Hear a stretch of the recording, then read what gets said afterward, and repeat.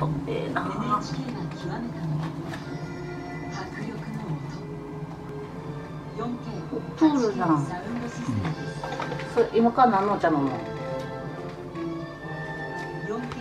ご飯食べるのにお腹ほくれるやんお茶飲んだ。かすごい冷たいものが飲みたいねんけそうどだからねもう行ってからにしようと思ってうん。これ書いてないよ